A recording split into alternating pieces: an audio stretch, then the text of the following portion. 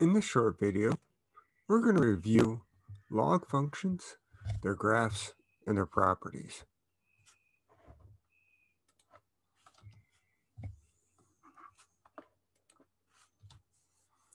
So let's examine what we mean by the inverse of an exponential function. Because we know that the exponential function is one to one.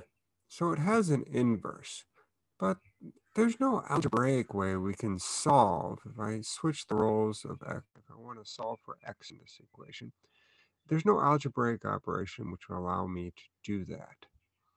Still, even though I don't have a formula for the inverse of this exponential function, I still know, I know a lot of its properties because I know the properties of the exponential function. That tells me that I should know the corresponding property of its inverse. For example, I know that the domain of an exponential function is all real numbers. So that means that the range of its inverse must be all real numbers. And since the range is all positive numbers for an exponential function, that would tell me that the domain for its inverse must be all positive numbers. We know that an exponential function has only one y-intercept, no x-intercepts, because b to the 0 equals 1. So that means its inverse must have no y-intercepts, but it will have an x-intercept. And of course, I have to exchange the coordinates. It'll be at 1, comma 0. So whenever the input to the inverse function is 1, the output will be 0. Uh, the exponential function has no vertical asymptote, so its inverse has no horizontal asymptote. On the other hand, exponential functions have a horizontal asymptote, y equals 0. That means that its inverse must have a vertical asymptote at x equals 0. And remember that if you have a base which is larger than 1, then y tends to go to 0, gets arbitrarily close to 0 from the right, meaning from the positive numbers, as x goes to negative infinity. So for the inverse, that says that y would go to negative infinity as x approaches 0 from the right. And we can make a similar statement if the base is between 0 and 1. In fact, we've already sketched the inverse function for y equals 2 to the x in a previous video. So if this, this we know is y to the 2 to the x, the yellow graph represents y equals 2 to the x. The red graph then represents its inverse. We can see its domain. The domain for the inverse is all positive numbers. Its range is all real numbers. It has a vertical asymptote at x equals 0, and its intercept is 1 comma 0.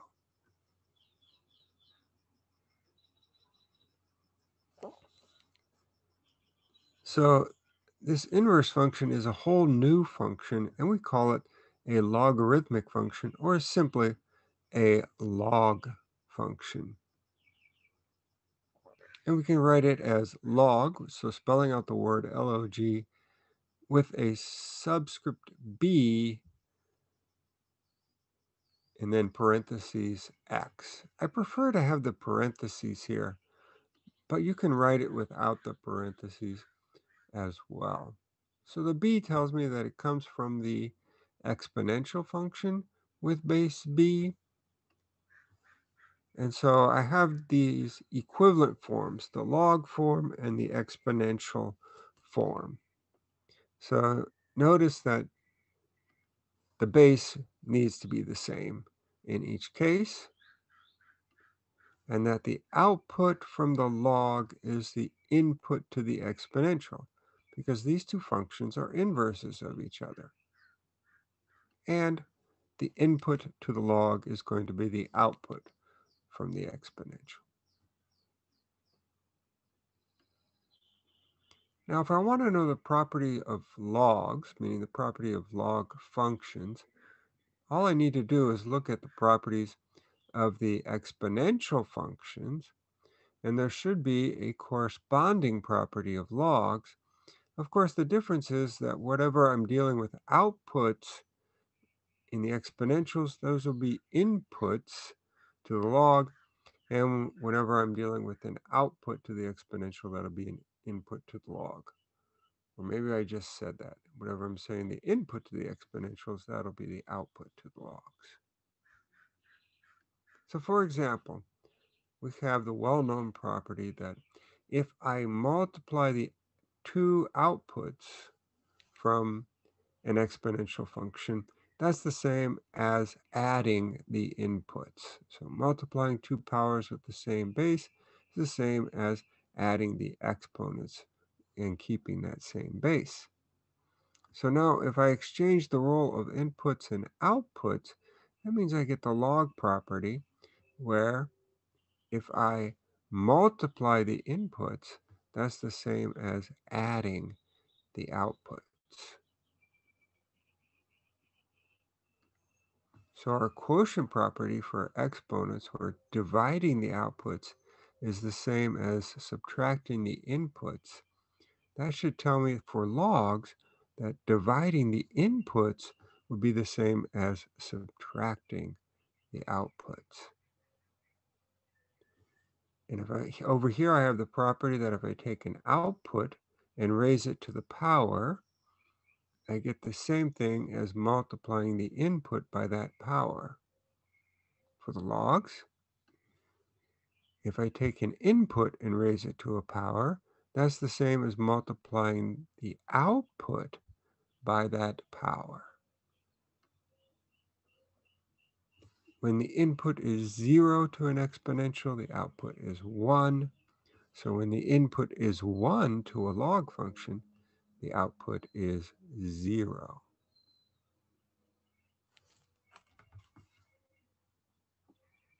Changing the sign to the input of an exponential function results in taking the reciprocal of the output, whereas taking the reciprocal of the input to the log results in changing the sign of the output. When the input is 1, the output is the base. And so when the input is the base, the output is 1. Really, that's a special case of the fact that the exponential and the logs are inverses of each other. So if you start with x, take the log of it, exponentiate it, you'll get x back again. And the same idea, if you start with x, you exponentiate it, then take the log, you did something, you undid it, you get x back again. These two functions are inverses of each other. Two special bases. We already talked about e as a special base for an exponential function. We call this the natural exponential function. So its inverse, which is log base e, is called the natural log function. This is such an important function that it has a special name. Instead of calling it just log base e, we call it ln. And so please note that that's a lowercase l. It is not an uppercase I. Just drives me crazy. It's a lowercase l. L. If we look here, we've got n for natural, L for log. Nowhere in natural log do we have an uppercase I. And then if we take log base 10, we call that the common log. And so we actually can leave off the uh, subscript 10. We just write log of x that is understood to be log base 10. And these are the buttons that'll be on a scientific calculator. You can calculate then uh, using your calculator either the natural log or the common log of a number, and you'll get a decimal approximation for most numbers. Sometimes it's, it's actually an exact value. So for example, here, let's not use a calculator, but let's just go ahead and uh, use the properties of logs to evaluate log base 2 of 8. Most calculators don't have a log base 2 button. So we'll have to use the properties of logs. And so we can write this. What does this say? This says 2 raised to some power equals 8. Or 2 raised to what power equals 8. And that would be power of 3. Because 2 cubed is 8, then log base 2 of 8 equals 3. All right, what about the natural log of radical e? Remember the natural log is log base e.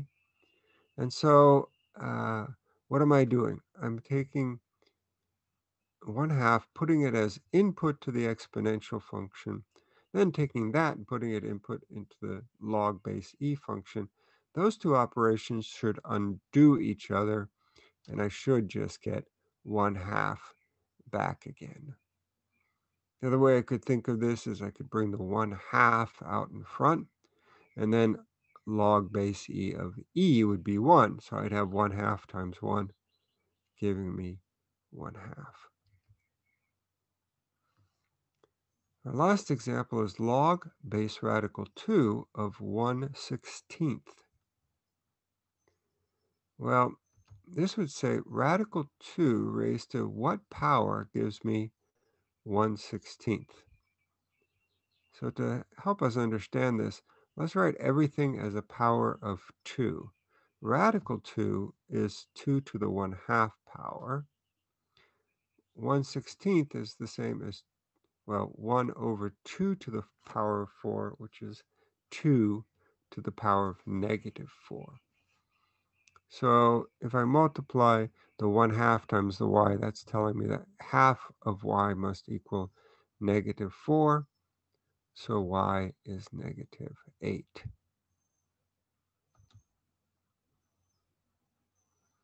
Now suppose I don't know what the base b is, but I have an approximation for log base b of 5, which would be 0.35 and log base b of 2 is about 0.15.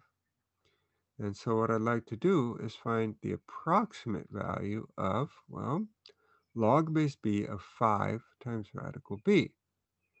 You may say to yourself, well, how can I possibly figure this out? I don't know what b is. Well, let's see what the properties of logs tell us. Here I have a product as the input. I can write that as the sum as of the output, so log base b of 5 plus log base b of radical b. Now, radical b is the same as b to the 1 half power, so log base b of radical b would be 1 half. Log base b of 5, I'm told, is approximately 0.35. And so adding those together, I get 0.85.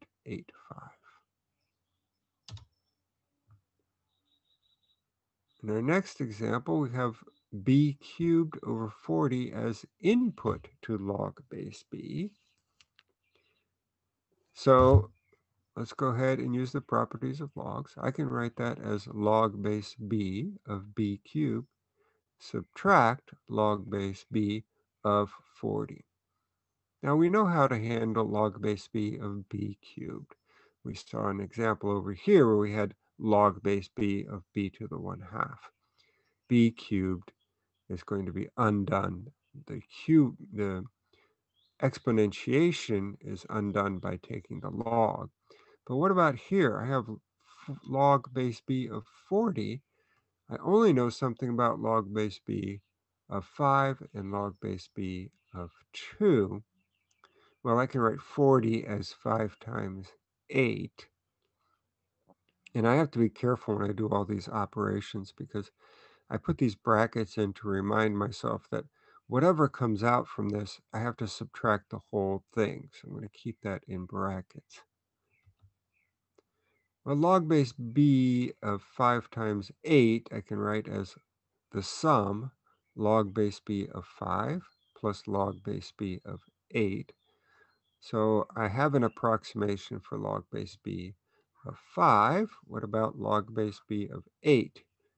Well, I can think of that as 2 to the power of 3. So I'll use the property of logs to bring the 3 in front of the log as a multiplier. And now I have approximations for both of these. So I can go ahead and replace log base b of 5 with 0.35, log base b of 2 with 0.15, and do the arithmetic. I don't really need a calculator for that. 3 times 0.15 will be 0.45. Add that to 0.35, I get 0.8. So 3 minus 0.8 is 2.2.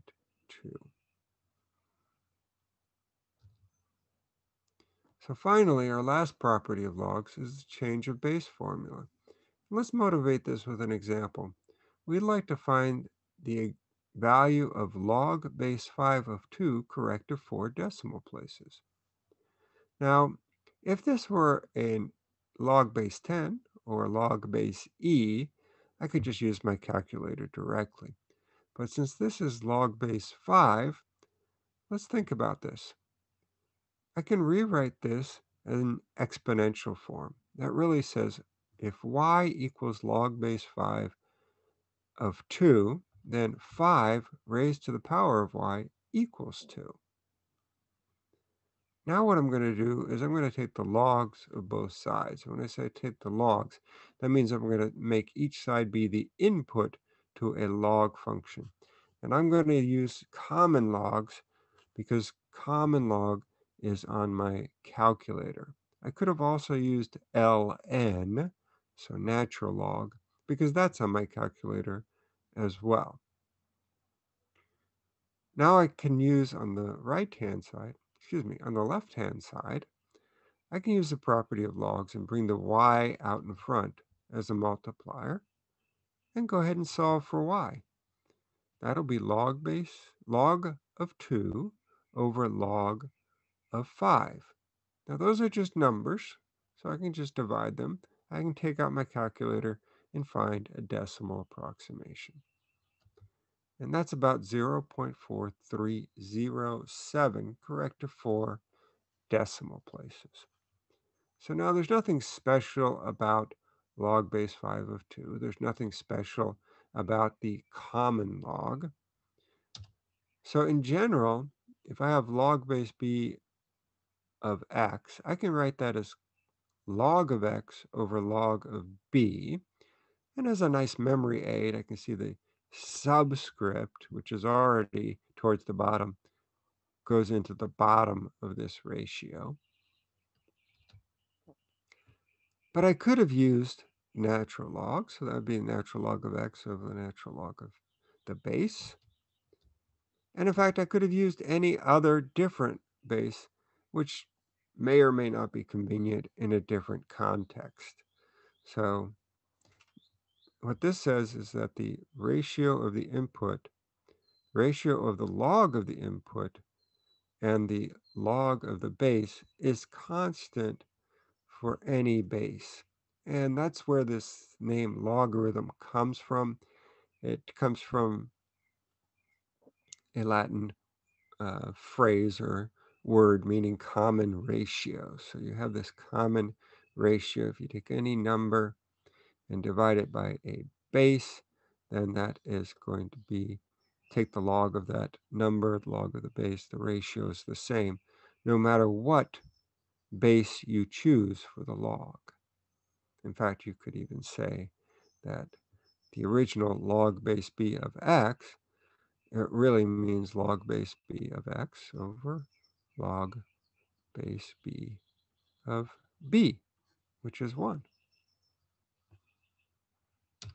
So that's our change of base formula.